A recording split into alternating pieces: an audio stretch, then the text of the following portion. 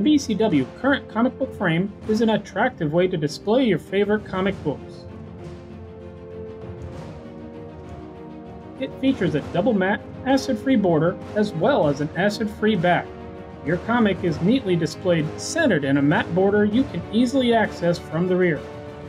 Undo the clasp, open the back, and lay your comic in the recessed area. The comic book frame will accommodate either a loose or bagged and boarded comic. After you close the back and reset the clasp, you're ready to hang your comic on the wall.